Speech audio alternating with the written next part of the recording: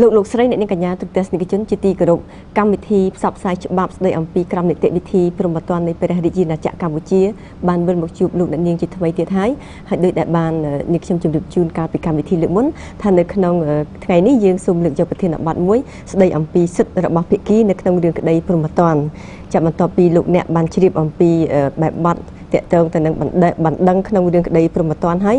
សិទ្ធិរបស់ភាគីនៅក្នុងរឿងក្តីព្រហ្មទណ្ឌក៏ជាបញ្ហាសំខាន់ដែរដែលទូទស្សនិកជននិងប្រជាពលរដ្ឋយើងទាំងអស់គួរតែស្វែងយល់ឲ្យបានជ្រាបច្បាស់ថាតើនៅក្នុងរឿងក្តីព្រហ្មទណ្ឌនេះជនល្មើសមានសិទ្ធិដូចម្ដេចហើយជនរងគ្រោះមានសិទ្ធិដូចម្ដេចនិងមន្ត្រីដែលធ្វើការខាងផ្នែកច្បាប់មានសិទ្ធិដូចម្ដេច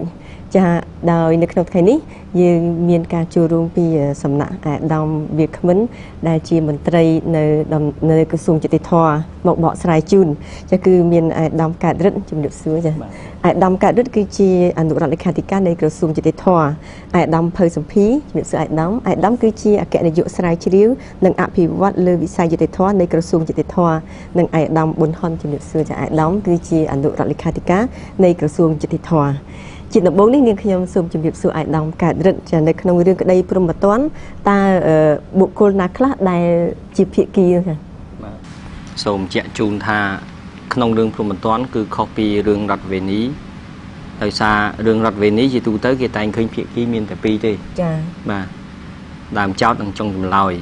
ប៉ុន្តែនៅក្នុងរឿងព្រំបន្ទាន់វិញគឺយើងឃើញថាភាគីក្នុងរឿងព្រំបន្ទាន់ខុសពីរឿងរដ្ឋវេនីជាទូទៅគេសង្កេតឃើញថាភាគីក្នុងរឿងព្រំបន្ទាន់គឺមាន3ចា៎យើងហៅថាភាគីជនល្មើសក្នុងន័យជារួមសិនចា៎ភាគីខាងជនរងគ្រោះហើយនិងភាគីអាយកាចា៎ភាគីខាងជនល្មើសឬនឹងភាគីខាងជនរងគ្រោះយើងអាចហៅថាជាភាគីឯកជនឯភាគីមួយទៀតគឺអាយកានោះគឺជាអ្នកដែលតំណាងឲ្យសង្គមជាអ្នកដែល ធានាការពារឲ្យទូទៅអញ្ចឹងគាត់គឺជាភាគីសង្គមចា៎អញ្ចឹងនៅក្នុងនេះគឺយើងបានបញ្ជាក់ជូនពីខាងកម្មវិធីលើកមុនថាភាគីនីមួយមួយមានសិទ្ធិដូចម្ដេចប៉ុន្តែនេះគឺជាទូទៅយើងឃើញមាន3ប៉ុន្តែនៅក្នុងករណីខ្លះគឺភាគីហ្នឹងអត់មានដល់3ទេមានត្រឹម2ឧទាហរណ៍ជាបាត់ល្មើសតាក់ទងជាមួយគ្រឿងញៀនចោះអញ្ចឹងយើងអត់មានភាគីជនរងគ្រោះទេមានតែរឿងភាគីខាងជនល្មើសជាមួយនឹងអាយកាជាមួយសង្គមតែម្ដង ចឹងការចោតប្រកាន់ទៅគឺចាប់ផ្ដើមធ្វើទៅហើយក្នុងរឿងហ្នឹងអត់មានអ្នកណាទៀមទាសំណងទេគឺយើងអនុវត្តច្បាប់យកតែម្ដងប៉ុន្តែជាទូទៅយើងសង្កេតឃើញមាន3បាទក្នុងនោះឧទាហរណ៍នៅពេលមានបទល្មើសមួយកើតឡើងជនម្នាក់អឺគាត់ជាអ្នកបង្កឲ្យមានបទល្មើស គឺជាភាគីជនល្មើសអ្នកដែលទទួលរងគ្រោះអំពីអំពើគឺជាភាគីរងគ្រោះឯសង្គមអន្តរាគមន៍ដើម្បីធានាការពារសំណាប់របស់សាធារណៈគឺអាយកានេះឯងចា៎បាទចានៅក្នុងចំណោមភាគីទាំង3ដោយអាដាមមានប្រសាសន៍ចឹងគឺភាគីជនរងគ្រោះភាគីជនល្មើសនិងភាគីអាយកាតែក្នុងចំណោមពួកគាត់គាត់មានសិទ្ធិអ្វីខ្លះទៅនៅក្នុងដំណើរការរឿងក្តីព្រមត្តនបាទមុននឹងចាប់ផ្ដើមបញ្ជាក់ជូនអំពីសិទ្ធិរបស់ ភាគីពាក់ព័ន្ធនៅក្នុងរឿងក្តីព្រមត្តននេះខ្ញុំសូមអនុញ្ញាតបញ្ជាក់ជូនលើចំណុចមួយគឺគុណភាពដើម្បីទទួលបានជាភាគីនៅពេលដែលយើងបញ្ជាក់អំពីភាគីជនល្មើសភាគីជនរងគ្រោះភាគីអัยការនេះគឺជាន័យក្នុងនៅក្នុងន័យរួមតាក់ទងរឿងក្តីព្រមត្តនចា៎ប៉ុន្តែបើសិនជាយើងផ្ដោតថាសួរថាតើពេលណាដើម្បីគាត់អាចខ្លាយទៅជាភាគីអញ្ចឹងយើងអាចលើកយកចំណុចមួយមួយមកធ្វើការពិចារណាទី1ដើម្បីខ្លាយខ្លួនទៅជាភាគីគេហៅថាជនរងគ្រោះ គឺក្នុងករណីនេះដោយខ្ញុំដោយកម្មវិធីលើកមុនបានបញ្ជាក់ជូនគឺភាគីជនគ្រោះមានសិទ្ធិអាចដាក់ពាក្យប្តឹងនេះទៅតុលាការទៅ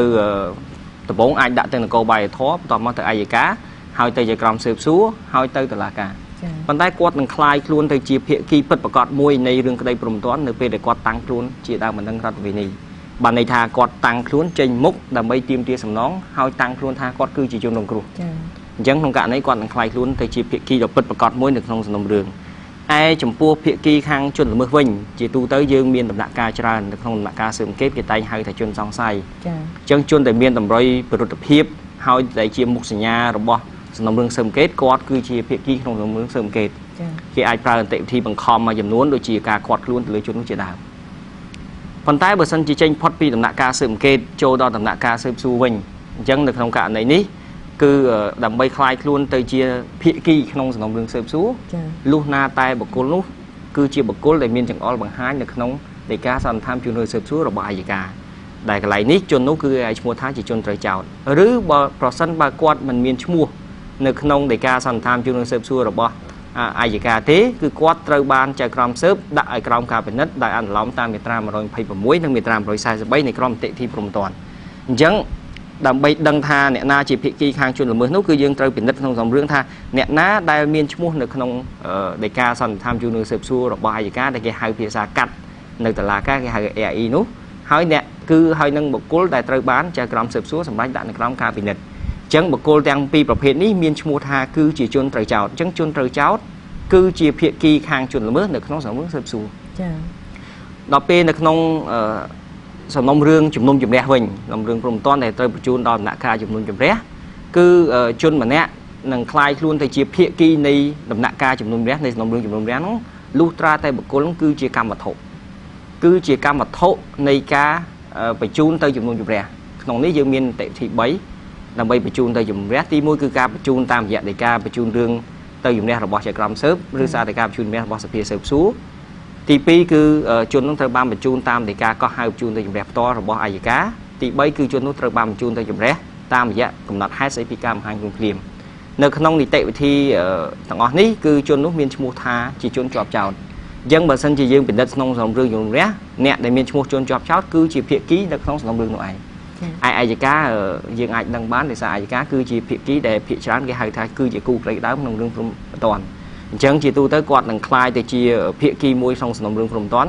នៅពេលដែលគាត់សម្រេចធ្វើការចោទប្រកាន់តាមរយៈបណ្ដឹងអាជ្ញាអាចបញ្ជូនទៅយុត្តាធិការស៊ើបសួរឬមួយក៏យុត្តាធិការជំនួយជំនះប៉ុន្តែនៅក្នុងដំណាក់កាលស៊ើបអង្កេតយើងអាចចាត់ទុកថាជាភាគីមួយប៉ុន្តែធៀបពិតគាត់មិនមែនជាភាគីពិតប្រកបមួយក្នុងទេព្រោះថាគាត់គឺជាអ្នកដឹកនាំនិងសម្របសម្រួលចា៎អញ្ចឹងនៅពេលដែលគាត់សម្រេចហើយ ទើបគាត់ខ្លាយខ្លួនទៅជាភាគីមួយនៃសំណុំរឿងស៊ើបសួរក៏ដូចជាសំណុំរឿងចំនួនជំរះអញ្ចឹងនៅក្នុងដំណាក់កាលស៊ើបអង្កេតគឺគាត់ប្រើសិទ្ធិអំណាចរបស់គាត់ក្នុងនាមសង្គមដើម្បីធ្វើការស៊ើបអង្កេតដឹកនាំសម្របសម្រួលប្រតិបត្តិការរបស់មន្ត្រីនគរបាលយុធធម៌ដើម្បីកសាងសំណុំរឿងបញ្ជូនទៅតុលាការទៅជាក្រុមស៊ើបឬមួយក៏ទៅតុលាការជំនុំជម្រះនេះគឺដើម្បីទទួលបាននៅគុណសម្បត្តិជាភាគីក្នុងរឿងព្រមត្តនមួយ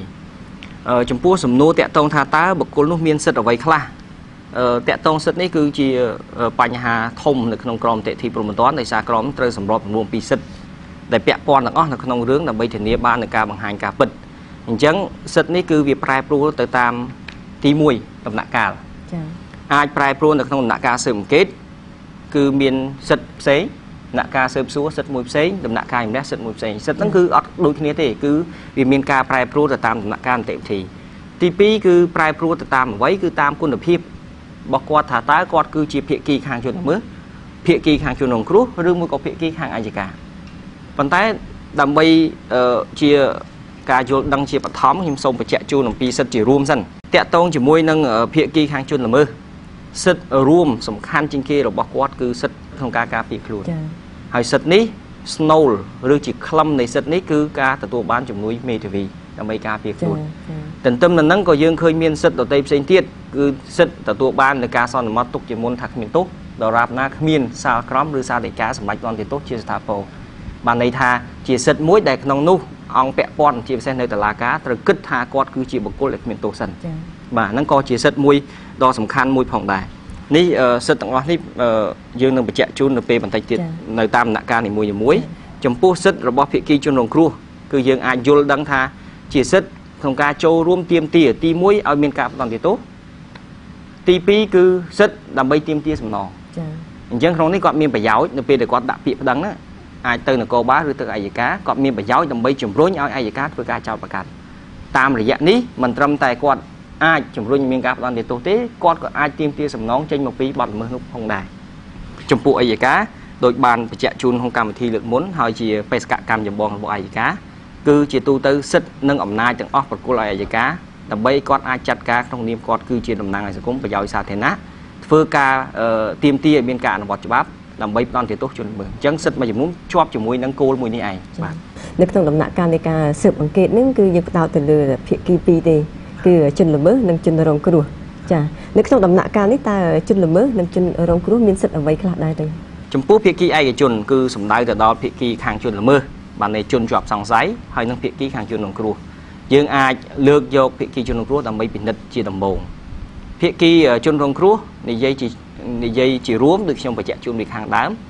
គឺជាភាគីមួយដែលគេទទួលស្គាល់សិទ្ធិក្នុងនាមគាត់គឺជាជនរងគ្រោះដើម្បីដាក់ពាក្យប្តឹងទាមទារផ្សេងផ្សេងចា៎អញ្ចឹងគោលដៅរបស់គាត់សិទ្ធិគាត់គឺភ្ជាប់ជាមួយនឹងគោលដៅនោះឯងទី1គឺទាមទារឲ្យមានការផ្តន្ទាទោសចា៎អញ្ចឹងកន្លែងនេះគឺគាត់ជំរុញតាមរយៈ អัยការដែលជាម្ចាស់នៃបណ្ដឹងអាជ្ញាក្នុងការសម្រេចអំពីការចោទប្រកាន់ជំរុញអំពីការចោទប្រកាន់ទី2សិទ្ធិមួយទៀតគឺសិទ្ធិដើម្បីទាមទារសំណងអញ្ចឹងគាត់មានប្រយោជន៍នៅពេលដែលមានការចោទប្រកាន់គាត់ចូលរួមក្នុងនីតិវិធីហើយគាត់ទាមទារសំណងការខូចខាតដែលកើតមានឬបណ្ដាលមកពីបទល្មើសចា៎អញ្ចឹងនៅក្នុងករណីនេះបើយើងនិយាយអំពីសិទ្ធិពាក់ព័ន្ធនេះយើងអាចលើកជាឧទាហរណ៍មួយឧទាហរណ៍ថានៅពេលដែលគាត់ដាក់ពាក្យប្តឹងឧទាហរណ៍ពាក្យប្តឹងនេះមកដល់អាយកាចា៎អញ្ចឹងគាត់ត្រូវទទួលបានពីអាយកានឹងការឆ្លើយតបមួយ ជាទូទៅប្រសិនបើអាយកាមិនឆ្លើយតបឬមួយក៏អាយកាមិនធ្វើការចោទប្រកាន់ដោយសារគាត់តម្កល់រឿងទុកអចិន្ត្រការអញ្ចឹងភាគីជនរងគ្រោះហ្នឹងគាត់អាចប្រើសិទ្ធិរបស់គាត់តាមក្រមតេទីព្រំទាន់គឺប្តឹងតវ៉ាចំពោះចំណាត់ការឬការមិនឆ្លើយតបរបស់អាយកាចំពោះពាក្យបណ្ដឹងរបស់គាត់ប៉ុន្តែជាទូទៅចំពោះការឆ្លើយតបការមិនឆ្លើយតបចំពោះពាក្យប្តឹងរបស់គាត់នេះគួរធ្វើការពិនិត្យក្នុងស្ថានភាពមួយប្រយ័ត្នប្រយែងបំផុតជួនកាល ដាក់ពាក្យបណ្ដឹងទៅជាទូទៅតាមក្រមតិទីព្រំទាន់ក្នុងរយៈពេលត្រឹម2ខែអីគឺគាត់មានសិទ្ធិដែរបើសិនជាគេអត់ឆ្លើយគាត់មានសិទ្ធិប្តឹងអីយ៉ាងប៉ុន្តែពេលខ្លះក្នុងសំណុំរឿងមួយដើម្បីកសាងសំណុំរឿងមួយគឺទាមទារពេលវេលាច្រើនអัยការនឹងមិនសម្រេចអំពីការចោទប្រកាន់អំពីរឿងណាមួយទេប្រសិនបើគាត់គ្មានមូលដ្ឋានគ្រប់គ្រាន់អញ្ចឹងដើម្បីទទួលបានមូលដ្ឋានគ្រប់គ្រាន់គាត់ត្រូវធ្វើការស្រាវជ្រាវឬចាត់ឲ្យមានការស៊ើបអង្កេតបឋមសិនឬស៊ើបអង្កេតផ្សេងផ្សេងដែលចាំបាច់ដើម្បីរកមូលដ្ឋានថាមានបាត់ល្មើសដែរទេ ហើយទើបគាត់ចាត់ការបន្តទៅទៀតនេះគឺតកតងជាមួយនឹងសិទ្ធិដ៏សំខាន់មួយរបស់ភាគីជនរងគ្រោះនៅក្នុងដំណាក់កាលស៊ើបអង្កេតចំពោះជនជាប់សង្ស័យវិញ ជាទូទៅយើងអាចពិនិត្យស្ថានភាពពីរស្ថានភាពមួយគឺជនជាប់សង្ស័យដែលគាត់មានខ្លួនថាជាជនជាប់សង្ស័យបានន័យថាករណីនេះគឺយើងអាចនិយាយអំពីសិទ្ធិបានប៉ុន្តែករណីមួយទៀតគឺបានន័យថាគ្មានមុខសញ្ញាជនសង្ស័យទេហើយអัยការគាត់ចាត់ការទៅលើបណ្ដឹងអាជ្ញាតែម្ដងឧទាហរណ៍ ឃាតកម្មមួយកើតឡើងយើងដឹងច្បាស់ថាសាកសពដែលយើងរកឃើញនោះគឺជនរងគ្រោះបានស្លាប់ដោយសារអំពើឃាតកម្មមិនមែនករណីស្លាប់ដោយសារធម្មជាតិមិនមែនស្លាប់ដោយសារការធ្វើអត្តឃាតទេអញ្ចឹងនៅពេលដែលមានតម្រុយអំពីបទល្មើសមានមូលដ្ឋានអញ្ចឹងអាយកាគាត់អាចធ្វើជំរឿសមួយគឺចោតប្រកាន់តាមរយៈដីកាសន្និដ្ឋានជំនួសស៊ើបសួរអញ្ចឹងករណីនេះអាចជននោះអត់ស្គាល់មុខទេជនជាប់សង្ស័យយើងអត់ស្គាល់មុខទេ អញ្ចឹងនៅក្នុងករណីនេះគឺដីកាសន្និដ្ឋានបញ្ជូនរឿងស៊ើបសួររបស់គាត់គឺចោតប្រកាន់ចំពោះជនមិនស្គាល់មុខដែលភាសាច្បាប់ហៅថាចោតប្រកាន់ចំពោះអញ្ញត្តិជនអញ្ចឹងអញ្ញត្តិជនគឺជនដែលគេមិនស្គាល់អត្តសញ្ញាណអញ្ចឹងនៅក្នុងសាមភាពនេះគឺយើងឃើញថាអត់មានភាគីនៃជនភាគីជនល្មើសខាងជនល្មើសហ្នឹងនៅក្នុងដំណាក់កាលសង្កេតទេប៉ុន្តែមួយទៀតអត់ទេឧទាហរណ៍ដូចជាបទល្មើសជាក់ស្ដែងជនល្មើសត្រូវបានចាប់ខ្លួន ឬមួយក៏ករណីផ្សេងទៀតដែលក្នុងនោះមានតម្រុយចង្អុលអំពីអត្តសញ្ញាណរបស់បុគ្គលណាមួយអញ្ចឹងការស៊ើបអង្កេតអាចផ្ដោតឬអាចបង្វែរមុខសញ្ញាចំគាត់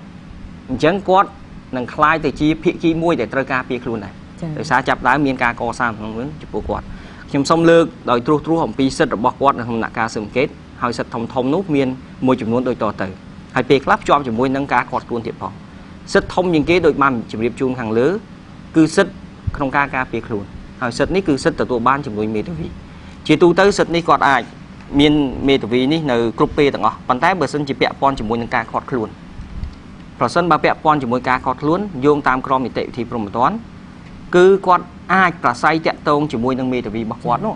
បានក្រោយពេលដែលការខាត់ខ្លួនកន្លងផុតទៅ24ម៉ោងអញ្ចឹងផុតរយៈពេល24ម៉ោងនៃការខាត់ខ្លួនគឺភាគីនោះ មានសិទ្ធិស្នើសុំសន្ទនាជាមួយមេធាវីរបស់គាត់ហើយការសន្ទនានេះគឺត្រូវធ្វើក្នុងលក្ខខណ្ឌសម្ងាត់ហើយជាទូទៅគាត់អាចសន្សន្ទនាបានរយៈពេល30នាទី30នាទីហើយចំណុចនេះគឺកម្មវិធីលើកមុនយើងបានបញ្ជាក់ជូនអស់ហើយអឺសិទ្ធផ្សេងទៀតពាក់ព័ន្ធជាមួយសិទ្ធការពារខ្លួននឹងដូចគ្នា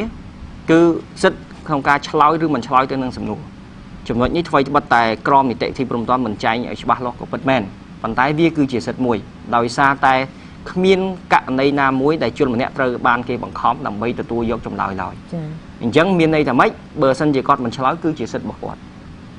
បាទបើគាត់មិនឆ្លើយគឺជាសិទ្ធិរបស់គាត់ដូច្នេះมันអាចប្រើវិធីបង្ខំឧទាហរណ៍ដូចជាទរណកម្មដើម្បីបង្ខំគាត់ឲ្យផ្ដល់ចម្លើយទេប៉ុន្តែបើគាត់ស្ម័គ្រចិត្តឆ្លើយដោយខ្លួនឯងគឺករណីនេះគឺអាចធ្វើទៅបានហើយសិទ្ធិដូចគ្នាដែរក្នុងដំណាក់កាលស៊ើបអង្កេតគឺសិទ្ធិទទួលបាននៅអឺ ការសន្មត់ទុកជាមុនថាគ្មានទោសដោយសារគាត់មិនទាន់មានសេចក្តីសម្រេចរបស់តុលាការណាមួយដែលសម្រេចផ្តន្ទាទោសនៅចំពោះគាត់ឡើយអញ្ចឹងគាត់គឺជាជនសង្ស័យដូច្នេះជនសង្ស័យត្រូវចាត់ទុកគាត់ថាគឺជាជនគ្មានទោសសិនទើបយើងអាចដំណើរការប្រកបដោយតលយៈភាពនេះនៃសិទ្ធិអញ្ចឹងយើងចាត់ទុកថាគាត់គឺជាបុគ្គលដែលគ្មានទោសហើយតាមរយៈនេះក៏មានការពាក់ព័ន្ធមួយចំនួនតាក់ទងគោលការណ៍នៃការអឺសម្ងាត់នៃការស៊ើបអង្កេតការស៊ើបសួរជាដើមនោះដែលគេថាត្រូវរក្សាការសម្ងាត់ដោយសារតែគោលការណ៍នេះឯង គោលការណ៍នេះឯងដែលគេថាមិនត្រូវបញ្ចេញមុខសញ្ញាថាជននឹងគឺជាអ្នកប្រព្រឹត្តបទល្មើសជាដើមឡាក់ហ្នឹងដោយសារយើងមិនទាន់មានសេចក្តីសម្រេចស្ថាពរតែសម្រេចផ្ដន្ទាទោសអញ្ចឹងបើយើងបង្ហាញបញ្ជាក់ថាជននឹងគឺជាអ្នកប្រព្រឹត្តបទល្មើសស្រាប់តែដំណើរការអន្តរវិធីស្វែងរកការពិតមានផុសតាមផ្សេងបញ្ជាក់ថាគាត់មិនមែនប្រព្រឹត្តបទល្មើសនោះវាប៉ះពាល់ដល់សិទ្ធិរបស់គាត់ចា៎បាទអាហ្នឹងគឺសិទ្ធិពាក់ព័ន្ធជាមួយនឹងបញ្ហាហ្នឹងបើសិនជាក្នុងក្របខ័ណ្ឌនៃការខាត់ខ្លួនយើងឃើញមានសិទ្ធិមួយទៀតគឺសិទ្ធិទទួលបានជំនួយពីគ្រូពេទ្យចា៎ អញ្ចឹងគាត់អាចសុំឲ្យគ្រូពេទ្យចូលទៅពិនិត្យសុខភាពរបស់គាត់ថាតើគាត់អាចទទួលនៅស្ថានភាពនៃការខាត់ខ្លួនបានដែរទេប៉ុន្តែជារួមតកតងមួយសិទ្ធិរបស់ខាងជនរងគ្រោះអឺជនល្មើសនេះគឺជនជាប់សង្ស័យនេះគឺយើងផ្ដោតជាសំខាន់ទៅលើសិទ្ធិពីរហ្នឹងគឺសិទ្ធិក្នុងការការពារខ្លួនដែលស្នូលនៃសិទ្ធិនេះ ឬខ្លឹមនៃសិទ្ធិនេះគឺសិទ្ធិទទួលបានជំនួយមេធាវីនេះឯងសូមអរគុណចាសសូមអរគុណបន្ទាប់ពីដំណាក់កាលស៊ើបអង្កេតយើងចូលដល់ដំណាក់កាលស៊ើបសួរវិញម្ដងនេះខ្ញុំសូមជម្រាបសួរអាយដាមភៅសម្ភារថានៅក្នុងដំណាក់កាលស៊ើបសួរនេះមានយើងឃើញថាបើតាមប្រសាសន៍របស់អាយដាមកើតគឺមានភាគីដល់ទៅ3ចាពាក់ព័ន្ធគឺភាគីជនរងគ្រោះភាគីជនល្មើសនិងភាគីអាយកានាងខ្ញុំសូមជម្រាបសួរអាយដាមថានៅក្នុងដំណាក់កាលនេះចំពោះភាគីជនរងគ្រោះតើគាត់មានសិទ្ធិអ្វីខ្លះទៅ តាមបញ្ញត្តិនៃក្រមនីតិវិធីព្រហ្មទណ្ឌដំណាក់កាលស៊ើបសួរគឺត្រូវបានបើកដោយដីកាសន្តានបញ្ជូនរឿងស៊ើបសួររបស់អាយកាដូច្នេះនៅក្នុងដំណាក់កាលស៊ើបសួរនេះបើយើងគិតអំពីចំណាត់ការជំរើសនៃការចោតប្រកាន់នេះគឺអាយកាចោតប្រកាន់តាមរយៈការបើការស៊ើបសួរបាទដូច្នេះនៅពេលចាប់ពីមានដីកាបញ្ជូសន្តានបញ្ជូនរឿងស៊ើបសួរនេះសំឡំរឿងត្រូវផុតពីអាយកាអាយកាមិនមែនជា ហើយថាជាអ្នកដឹកនាំសម្រាប់រួលការងារសិទ្ធិគេទៀតទេពេលហ្នឹងគាត់ប្រែคลายខ្លួនគាត់ទៅជាភាគីនៅក្នុងរឿងក្តីព្រមត្តនហើយដែលយើងហៅជាទូទៅថាគូក្តីដើមនៅក្នុងរឿងក្តីព្រមត្តនហើយនៅក្នុងដំណាក់កាលស៊ើបសួរនេះយើងសង្កេតឃើញថាមានភាគីសំខាន់សំខាន់3គឺជនរងគ្រោះភាគីជនរងគ្រោះភាគីបាទជនល្មើសដែលក្នុងពេលនេះជនសង្ស័យនៅក្នុងដំណាក់កាលស៊ើបអង្កេតដោយអាដាមកើតរិទ្ធបានបញ្ជាក់មិញមិញកាលណាមានដីកាសន្តានជួរស៊ើបសួរ ជនដែលមានឈ្មោះនៅក្នុងហ្នឹងគឺលែងហៅថាជនសង្ស័យហើយត្រូវបានហៅថាជនត្រូវចោតតែម្ដងភាគីជនត្រូវចោតហើយភាគីមួយទៀតគឺភាគីដើមម្ដងរដ្ឋវិនីដែលជាជនរងគ្រោះផ្ទាល់ឬតំណាងរបស់គាត់តកតងជាមួយនឹងសិទ្ធិរបស់ជនភាគីរងគ្រោះនេះគឺដោយអាដាមការ៉ិតបានបញ្ជាក់ហើយគឺនៅក្នុងនាមជាអ្នកជនរងជនរងគ្រោះផ្ទាល់ដោយសារអំពើល្មើសគាត់មានសិទ្ធិទទួលនៅសំណងនិងជំងឺចិត្តដែលជាព្យាកម្មកើតឡើងដោយបាត់ល្មើសដូច្នេះ ដើម្បីគោលបំណងដោយយើងបានបញ្ជាក់នៅក្នុងធានបទមុនអំពីគោលបំណងនៃបណ្ដឹងរដ្ឋវិន័យដើម្បីធ្វើយ៉ាងណាឲ្យជនរងគ្រោះទទួលបាននៅសំណងសម្រាប់ចិត្តដូច្នេះដើម្បីជំរុញដល់គោលបំណងឲ្យគាត់បានសម្រេចនេះគាត់មានសិទ្ធិចូលរួមយ៉ាងសកម្មនៅក្នុងនីតិវិធីប្រមត្តនជាពិសេសដំណាក់កាលស៊ើបសួរធ្វើយ៉ាងណាឲ្យអាជ្ញាធរស៊ើបសួរក៏ដូចជាអាជ្ញាធរនំរះធ្វើការចាត់ប្រកាន់និងផ្ដន្ទាទោសជនល្មើសទៅតាមច្បាប់ដើម្បីពេលនោះគាត់ទទួលបាននៅសំណងនិងជំនឿចិត្តរបស់គាត់ដូច្នេះ ក្នុងក្របខ័ណ្ឌដើម្បីអនុវត្តឲ្យបានសម្រេចនៅបំណងរដ្ឋវិន័យគឺជាទទួលនៅសំណងមួយចិត្តនេះគាត់មានសិទ្ធិសំខាន់សំខាន់មួយចំនួនដែលកំណត់នៅក្នុងក្រមនីតិវិធីព្រមត្តនទីហោថាសិទ្ធិស្នើសុំឲ្យបំពេញកិច្ចនៃការស៊ើបសួរបានន័យថាគាត់មានសិទ្ធិស្នើសុំឲ្យចក្រមស៊ើបសួរបំពេញកិច្ចណាមួយដែលមានប្រយោជន៍សម្រាប់របស់គាត់ឧទាហរណ៍ដូចជាស្នើសុំឲ្យស្ដាប់ចម្លើយគាត់ស្ដាប់ចម្លើយសាកសីសួរចម្លើយជនត្រូវចោទធ្វើការសួរតទល់គ្នាឬក៏ធ្វើការចុះពិនិត្យទៅដល់ កន្លែងកាត់ហេតុហើយក្រៅពីនេះទៀតគឺដើម្បីផលប្រយោជន៍ការពារនៅសិទ្ធិរបស់គាត់បើគាត់ក៏មានយល់ឃើញថាផលប្រយោជន៍គាត់មានសិទ្ធិស្នើសុំឲ្យចក្រមស៊ើបសួរធ្វើកសលវិច័យកសលវិច័យហើយនៅពេលដែលកសលវិច័យផលិតផលនៃកសលវិច័យគាត់មានការសង្ស័យគាត់មានសិទ្ធិស្នើសុំឲ្យធ្វើកសលវិច័យបន្ថែមឬក៏ធ្វើបតិកសលវិច័យហើយសិទ្ធិទាំងពីរនេះគឺក្នុងករណីដែលចក្រមស៊ើបសួរបដិសេធគាត់មានសិទ្ធិប្តឹង តវ៉ាទៅសភាស៊ើបសួរនៃសាលាតោដើម្បីឲ្យសម្រេចអំពីករណីនេះដូច្នេះយើងឃើញថាសិទ្ធិរបស់គាត់សំខាន់សំខាន់ត្រូវបានកំណត់នៅក្នុងក្រមនីតិវិធីបានន័យថាធ្វើយ៉ាងណាជំរុញដំណើរការនៃការស៊ើបសួរឲ្យបានឆាប់រហ័សប្រមូលផុសតាងឲ្យបានត្រឹមត្រូវតាមច្បាប់ដើម្បីឈានទៅដល់ការដំណាក់កាលជំនុំរះផ្ដន់ទាទោសតាមច្បាប់កំណត់ហើយពេលនោះគាត់ ទទួលនៅការសម្រេចអំពីសំណងរដ្ឋវិន័យនេះជាគោលដៅចុងក្រោយរបស់គាត់ហើយក្រៅពីនេះដើម្បីជំរុញធានាភាពឆាប់រហ័សនៃនីតិវិធីក្នុងការស៊ើបសួរនេះច្បាប់ក៏បានកំណត់ឲ្យគាត់មានសិទ្ធិប្តឹងសំបិតសំណុំរឿងបែរថាបើសិនជារយៈពេល1ឆ្នាំកន្លងផុតទៅគិតពីថ្ងៃដែលគាត់តាំងខ្លួនជាដើមម្ដងរដ្ឋវិន័យទីថា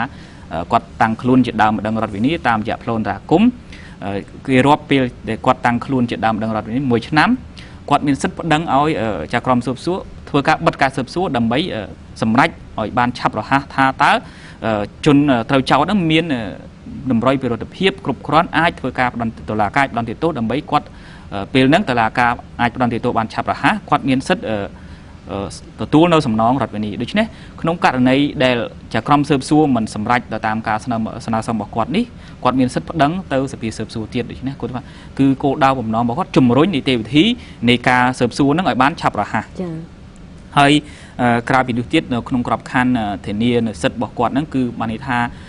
គាត់មិនត្រឹមតែជំរុញមានគោលដៅជំរុញនីតិវិធីស៊ើបសួរបានឆាប់រហ័សទេនៅក្នុងដំណាក់កាលស៊ើបសួរហ្នឹងគាត់មានសិទ្ធតាំងពិនិត្យអំពីនិយត្តភាពនៃកិច្ចនៃការស៊ើបសួរគាត់យល់ឃើញថា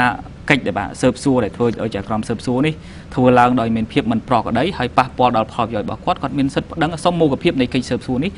ទៅសភាស៊ើបសួរនៃសាលាតដែលបានកំណត់នៅក្នុងមាត្រា253ហើយជាពិសេសមាត្រា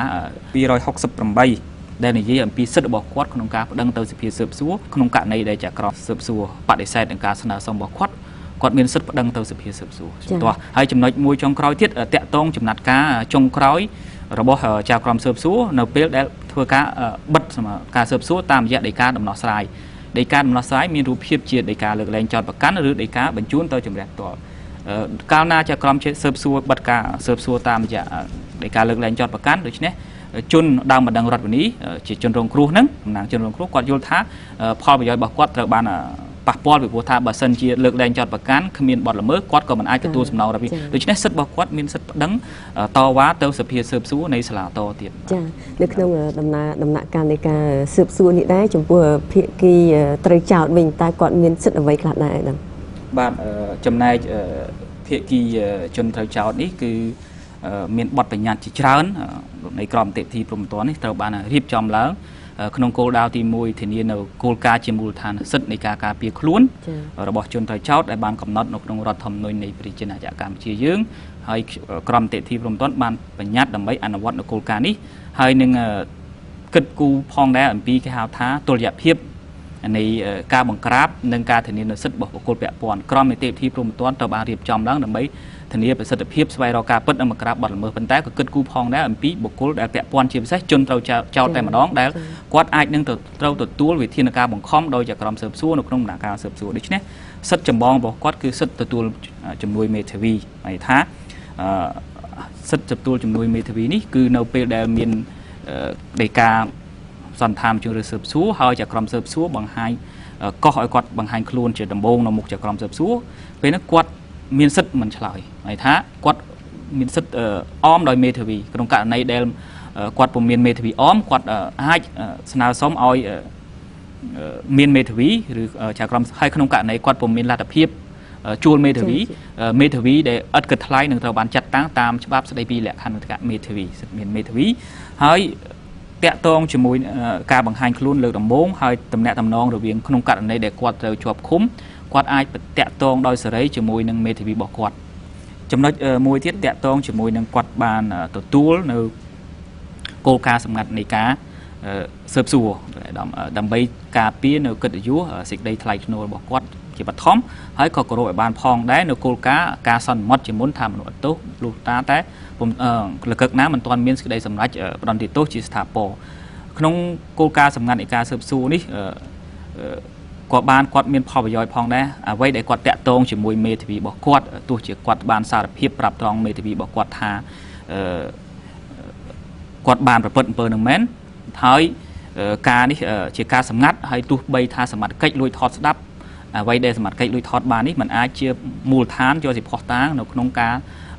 ជំនុំរះដោយតុលាការដើម្បីសម្រេចពីប្រវត្តិភាពរបស់គាត់ទេចំណុចនេះបានកំណត់នៅក្នុងមាត្រា321ហើយតកតងជាមួយនឹង គោលការណ៍សម្ងាត់នៃនៃការស៊ើបសួរនេះអាយដាមការ៉ិតក៏បានបញ្ជាក់ហើយអំពីគោលដៅពីរសំខាន់ការពារកិត្តិយសសេចក្តីថ្លៃថ្នូររបស់បុគ្គលពាក់ព័ន្ធក៏ដូចជាការពារនៅគ្រប់ឲ្យបាននៅគោលការណ៍សន្មត់ជាមុនទោសពីព្រោះថាបើសិនជាយើងធ្វើឲ្យលេចលឺជាសាធារណៈអំពីអត្តសញ្ញាណរបស់ជនត្រូវចោតវាអាចប៉ះពាល់ដល់កិត្តិយសសេចក្តីថ្លៃថ្នូរអំពីនឹងអំពីសមាហរណកម្មរបស់គាត់ទៅក្នុងសង្គមវិញក្នុងករណីដែល គាត់ត្រូវបានលើកលែងដោយតុលាការរកទៅឃើញចំនួនអត់ទោសដូច្នេះប៉ះពាល់ទំនាក់ទំនងសង្គមរបស់គាត់ចំណុចមួយទៀតវាប៉ះពាល់ដល់ប្រសិទ្ធភាពនៃការស្វែងរកផុសតាងផងដែរពីព្រោះថាបើសិនជាមានអ្នកដែលចូលរួមក្នុងការប្រព្រឹត្តបទល្មើសជាមួយជនត្រូវចោតឃើញជនត្រូវចោតទៅបានគេចាប់ខ្លួនបង្ហាញជាស្និទ្ធនេះច្បាស់ជារៀបចំបំផ្លាញផុសតាងនិងរត់គេចខ្លួនបាទហើយវាប៉ះពាល់ដល់ប្រសិទ្ធភាពនៃការបង្ក្រាបចំណុចមួយទៀតតកតងជាមួយនឹងអនិតិជនអ និតិជននៅក្នុងជនត្រូវចោតអនិតិជននេះច្បាប់បាទនីតិវិធីព្រំតននេះកំណត់ថាត្រូវតែមានមេធាវីអមចនិចមានថាទោះក្នុងករណីណាក៏ដោយ